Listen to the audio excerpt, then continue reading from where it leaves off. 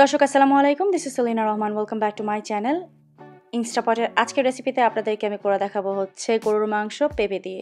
আমাদের দেশীয় ট্র্যাডিশনাল এই রেসিপির জন্য আমি দুই কেজি হাঁসহ মাংস নিয়ে ধুয়ে প্রথমে ইনস্টাপটের পটে নিয়ে নিয়েছি। পেঁয়াজ দিয়ে দিলাম, একটা টমেটো দিয়ে দিলাম, সেই সাথে দিয়ে দিলাম গরম মশলা যেখানে আছে তেজপাতা, এলাচ, দারচিনি, লবঙ্গ এবং গোলমরিচ।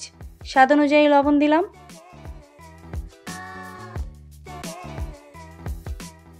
দিয়ে দিচ্ছি হলুদ গুঁড়ো, মরিচ গুঁড়ো, ধনে গুঁড়ো এবং জিরা গুঁড়ো। আরও দিচ্ছি আদা বাটা এবং রসুন বাটা। সেই সাথে তেল দিয়ে দিচ্ছি এক কাপ। বাকি সব উপকরণ কতটুকু দিচ্ছি সেটা আপনারা স্ক্রিনে লেখা দেখতে পাচ্ছেন এবং ভিডিও ডিসক্রিপশন বক্সে ডিটেলস লিস্ট পাবেন। এখন মাংস খুব ভালো করে মশলার সাথে মাখিয়ে নিতে হবে। এই ক্ষেত্রে আপনারা হাত দিয়েও এটাকে মাখিয়ে নিতে পারেন।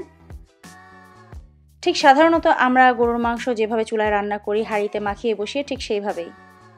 এখন এর মধ্যে এটাকে রান্না করার জন্য আমি দেড় কাপ পরিমাণ পানি দিচ্ছি। এই পানিটুকু প্রয়োজন আছে কারণ প্রেশার কুকারে যখনই রান্না করবেন তখন এই এতটুকু পানি দিতেই হবে মাংসটাকে সেদ্ধ করার জন্য এবং নিচ থেকে যেন পোড়া লেগে না যায়। ঢাকনাটাকে সিকিউরলি ক্লোজ করতে হবে। ভেন্টিং নবটাকে অবশ্যই সিলিং পজিশনে দিতে হবে এবং তারপর প্রেশার কুক অপশনে হাই প্রেশারে দিয়ে পনেরো মিনিটের জন্য আমি বসিয়ে দিলাম।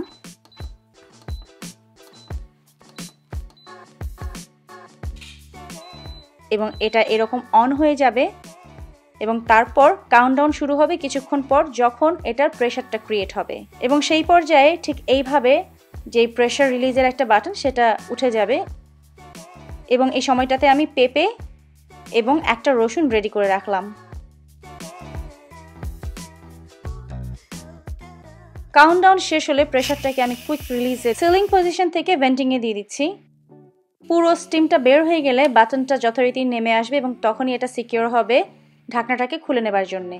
দর্শক, আমি আজকে যেই বিফটা রান্না করছি, এটা একটু বয়স্ক গরু, সেই জন্য সময় পনেরো মিনিট লেগেছে। আপনাদের ক্ষেত্রে সময়টা দশ মিনিট বা বারো মিনিটেও হতে পারে। ঢাকনা খুলে মাংসটাকে নাড়াচাড়া করে এখন এর মধ্যে কেটে রাখা পেঁপেটা দিয়ে দিচ্ছি। পেঁপে কিন্তু একটু আমি বড় বড় করে কেটে নিয়েছি আলুর মতো। পেঁপে এবং মাংস একসাথে আবার একটু নেড়ে চেড়ে দেব। মনে রাখবেন, মাংসে যখন প্রথম দিকে মশলা দিবেন, সেই মশলা পেঁপে এবং মাংসের আন্দাজ করে দিতে হবে। তাই উপকরণগুলো ঠিক রাখবেন যদি এই পরিমাণে রান্না করেন।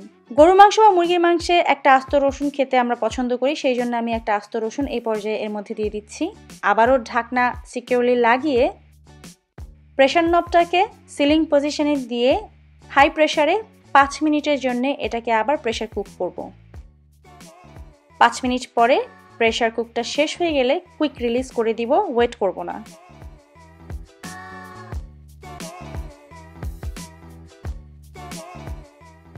সমস্ত ভাপ বের হয়ে গেলে প্রেশার নবটা ঠিক এইভাবে নিচে নেমে যাবে এবং তারপর ঢাকনাটাকে খুলে দিতে হবে। দেখতেই পাচ্ছেন সব কিছু খুব সুন্দরভাবে সেদ্ধ হয়ে গেছে এবং রান্নাটাও শেষ হয়ে গেছে। আলতোভাবে আমি আস্ত রসুনটা তুলে নিচ্ছি। এখন এর মধ্যে দিয়ে দিচ্ছি তেলে নেয়া জিরার গুঁড়া এক টেবিল চামচ।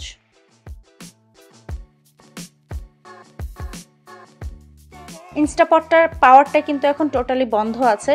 ওয়ার্ম পজিশনেও নেই।